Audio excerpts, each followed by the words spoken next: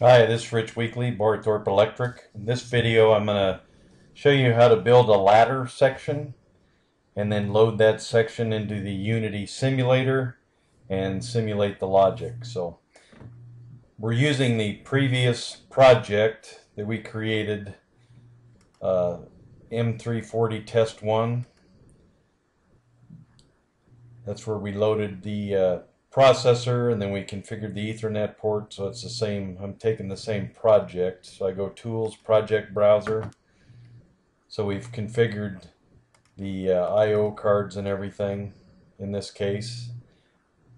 If you haven't done that yet there's a video on on how to assign the IO cards. IO cards aren't needed to build logic and simulate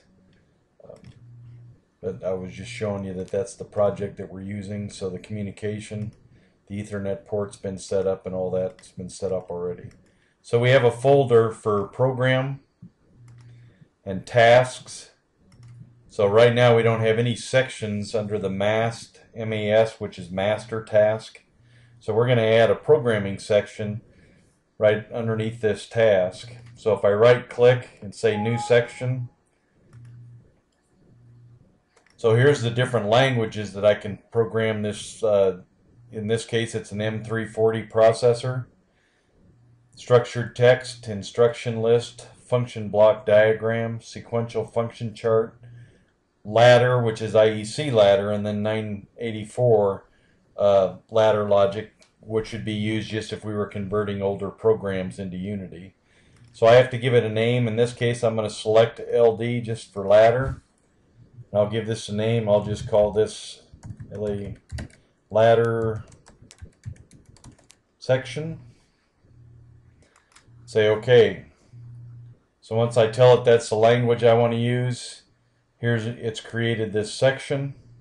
So here's my operations up here that I can use.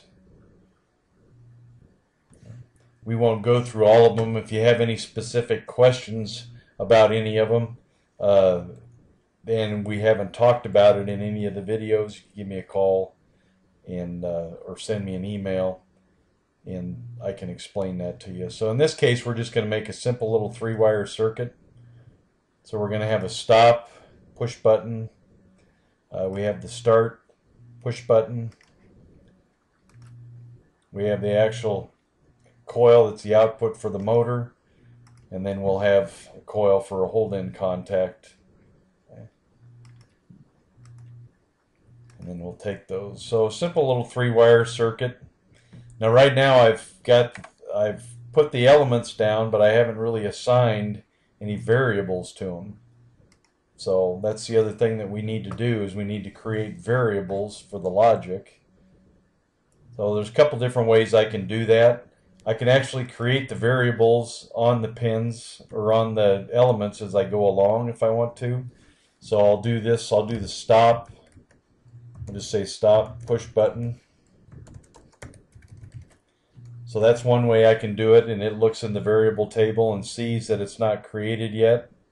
So it creates it and then I have to give it a type. This could be either a bool or an extended bool. In this case, we're going to do a, just do a simulation for it. So we'll just leave it a bool. We'll talk about the difference of those in other videos as well. And then I hit the green check mark. If I hit the red check mark accidentally, then it's not going to create the variable for me and I'll still see this red squiggly line underneath this, which means that the variable hasn't been created. So if I hit the green one, you'll see that squiggly line will go away. And then I have my variable assigned there. And if I go and double click on variables, I see that it's created in the variable table. Okay. The other way that I can assign those uh, is I can assign them in the variable table and then select them from here. So if I go back to the variable table and let's do the start button, but this time let's actually create it in the variable table. Okay, and we'll leave it a type bool as well. Then if I go back to the ladder section, now if I double click on that and select this black or the black three dots, select that box, it'll go to the variable table and it'll bring up all the variables that will fit that type of that element. So there's the start push button. If I just double click on it, then it'll insert that. So I can do it from the variable table. I can do it from here. Either, place will work fine. So let me double click on this and we'll just make this motor 1. Create the variable. And then we'll assign this to motor 1 as well. The other thing is this drop down box. If I've typed the variable, and I know I have, then it'll keep it kind of in memory in this drop down box. So because I typed motor 1 over here already, I can select motor 1. Okay. So there I have a simple little circuit. I can go back to Tools Project Browser. I can see that I have these blue check marks, which means that it hasn't been compiled, compiled yet. So if I go up to Build, Build Changes, which compiles the program or the project. So now that section is compiled. And if I want to go simulate it, to simulate this, if I go up to PLC, I have two modes. I have a standard mode and a simulation mode. Okay? And I can always tell what mode I'm in by looking at the bottom down here. Right now I'm in standard mode and you see this green box that says USB sys.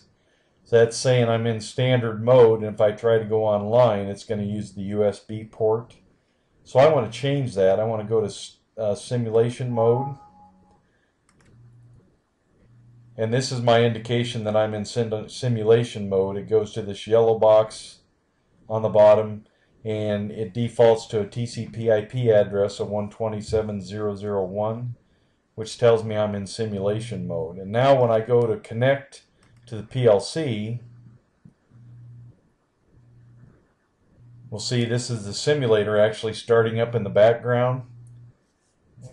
Now the simulator is starting up and running. If I go down here to this green arrow box, so this is the simulator. It's selected the PLC. Now there's no configuration or the configuration is invalid because right now we haven't loaded anything. So now that we have this all built, I can go ahead and write this or transfer this information to the PLC. So I'm going to transfer the project. So the, right now we would say that the simulator is in dim awareness. It's simulating a PLC that has just been taken out of the box. So we're going to transfer the logic that we did, and then all some of the configurations that we've done in the other videos. So you see this background turns to a, a gray, which shows me that I'm online. Right now the processor is stopped, so I have to go up to PLC and put this in run mode. So now the PLC is running. I'm online with the the PLC simulator, and I really can't tell any difference. Uh, that's the nice thing about this Unity simulator. Whether I'm really online or whether I'm this, on the simulator, simulator, it's a it's really a good practice. So now, if I wanted to force this logic, a couple different places I can do that. I can actually right-click on the variable and the element. So this stop button would be wired closed in the field so I can set that to a 1 to show that it's closed. Okay. Then I can actually set the value of the push button to 1 and you'll see that it simulates my motor output. And then I can put this back to 0 simulating that I've let go of the start button and we see that it holds in. Okay. So I can simulate it right from here. The other way that I can do that is I can put these on what we call an animation table. So if I hold down my mouse key and I drag over all the elements in this logic, I select all of them. And while they're all selected, I need to go on one that is selected. If I don't, if I come out here and hit my mouse again, it deselects everything. So in order to get everything on an animation table, if I select everything and then go to one that's selected kind of in the middle, and then I can go initialize animation table. It'll take all the variables that I've selected and it'll put them on a table. and I can also force those values from here. So if I want to look at both at the same time, I can tile these windows. Let me close this variable window and do that again. I'm going to tile the windows. So now I'm looking at the logic, and I'm also looking at the table, and I can then I can modify these. So if I can, if I wanted to simulate the stop button being, being hit, I would change that one to a zero, enter that, and you see that the logic is released down here. So I can simulate it again, right click here, or I can simulate it up here. So, so that's a simple, that's how to build a simple ladder section and how to load that section and test it on the simulator. So if I wanted to go back offline, I would just go PLC disconnect.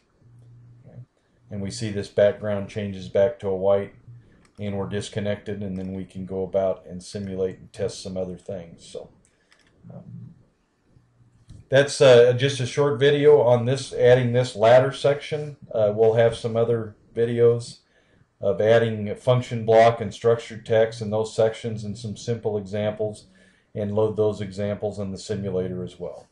Thank you.